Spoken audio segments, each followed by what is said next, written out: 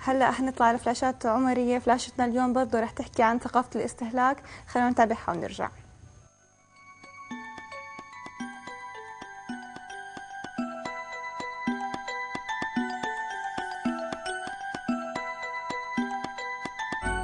لو تخيلنا قصة فتاة أرادت أن تجمع صاحباتها في البيت على يعني وليمة عشاء أو وليمة آه، نقدر نسميه حلويات وجاتو وفعلا اشترت المستلزمات الأساسية لهذه الجلسة الجميلة جلسة الطعام وجلسة الأنس مع صاحباتها لكن هذه الفتاة اكتشفت إلى أنه الغاز أنبوبة الغاز غير يعني آه، فارغة وبالتالي لا تستطيع أن تنتج هذا الطعام ولا ذلك الشراب.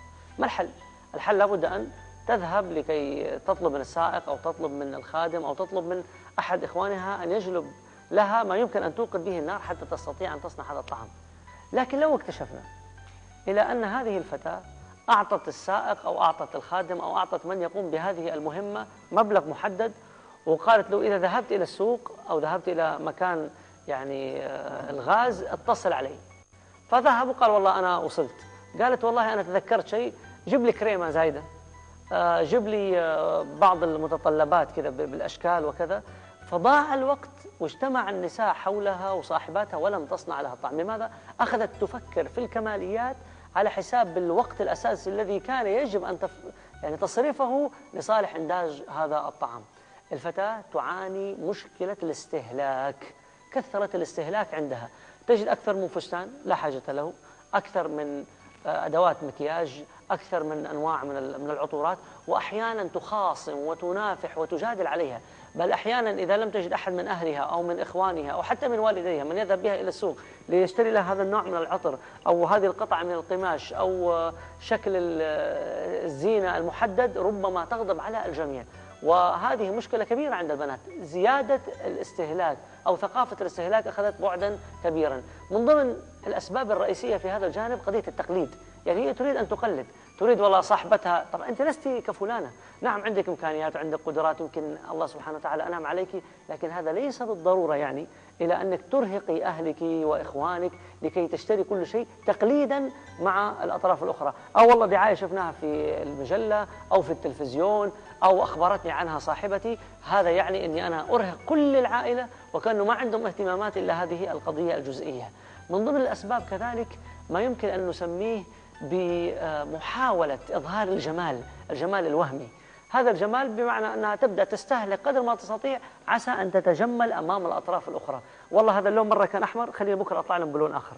هذه والله الساعة شكلها اليوم كذا بكرة أريد أن ألبس ساعة يعني لون مختلف وشكل آخر.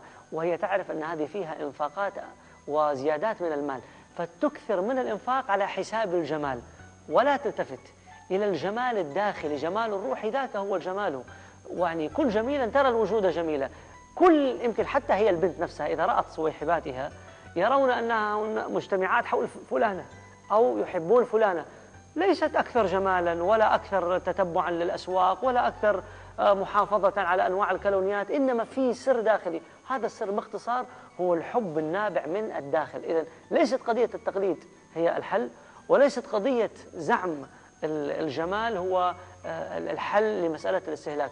والأمر الثالث والأخير في مشكلة الفتيات في تعلقهن بالاستهلاك ما أشبه أن أسميه بالرسالة أو بالرؤية أو بالهدف الذي تعيشه هذه الفتاة. أحيانا اهتماماتها ضعيفة.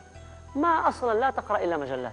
لا تتابع إلا آخر أخبار المكياج وآخر أخبار يعني الموضات والصفقات الأخيرة.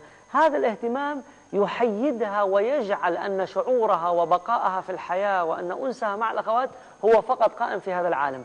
فإذا رأت أن هناك جيل سبقها بالزواج وجيل سبقها بالصحبة وجيل سبقها بالعلاقات تكتشف فيما بعد إلى أن كثرة الاستهلاك هو عبارة عن ثقافة موهومة روجها للأسف أعداء المرأة الذين يحاولون أن لا تنشغل إلا بزيادات الأمور والأحيانا أنها تقوم بفعل بعض المحرمات في الأشكال أو في التزين الظاهر الذي لا يرتضيه الإسلام حتى تخرج إلى المجتمع بشكل هي تظن أنه الجميل. وفي إحصاءات قرأت إلى أن الأموال التي تنفقها المرأة والفتاة في الزوائد من المكياج والميك أب وبعض الأمور الزائدة هذه إلى أنها يمكن أن تغني مجموعات من البشر في إفريقيا وفي غيرها. المرأة الواعية المرأة العاقلة هي التي تتزين الزينة الصحيحة. الزينة الجميلة ولكن كل شيء يكون بعقل. وكما قيل في الحكم الحب جميل وأجمل منه أن يكون بعقل والجمال ظاهر وباطن. فإذا زاد أحدهما على الآخر لا يمكن أن يكتمل. وفي دين الإسلام وثيابك فطهر. قالوا أي ثيابك الظاهرة جملها وثيابك الداخلية وهي نظافة القلب ونظافة الروح هي التي تولد على الظاهر مزيدا من الجمال. فطوبى لمن تمسك بهذا الأمر وخاصة من الفتيات.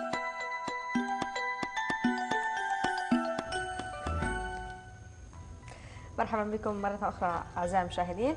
في فقرة شفة نجاح لليوم صاحبة قصة نجاحنا لليوم أوقدت شموع الأمل في طريقها للنجاح الذي الذي رغم المعوقات التي واجهتها. فكانت آه، من وعد وعد آه، يعني صاحبة قصة نجاح اليوم.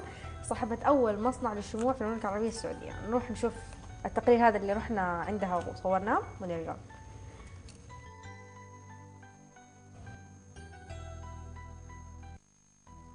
كويس